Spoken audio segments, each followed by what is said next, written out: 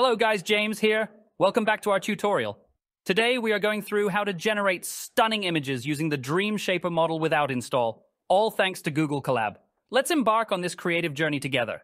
To begin, make sure to upload the Colab script. You can find the link in the video description below. Now, start running the script and install Stable Diffusion with the downloaded model through Google Colab. Notice, this is the Dream Shaper base on Stable Diffusion 1.5. The video about Dream Shaper XL 1.0 with SDXL base will be uploaded in few days. So stay tuned. If you are unsure about the installation process, you can find a helpful link for tutorial in the description below. Once everything is set, head over to the provided link in Google Colab. You shall notice a prompt and negative prompt section below.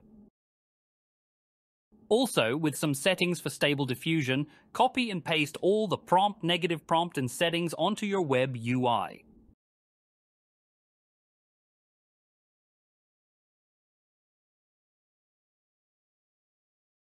Now click Generate to witness the magic of the Dream Shaper model unfold before your eyes.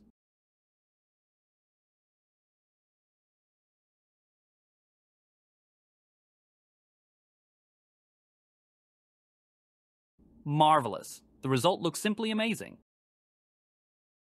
Additionally, you can further enhance your experience by adjusting the dimension to generate a ported image or achieve a full body outcome. Let's take it a step further and try a different image from the Civit AI to set the wonder it can bring to life.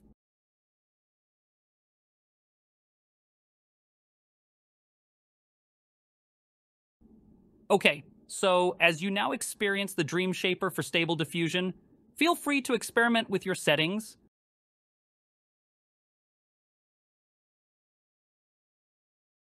Customize the parameters to your liking and watch as you achieve stunning and mesmerizing results.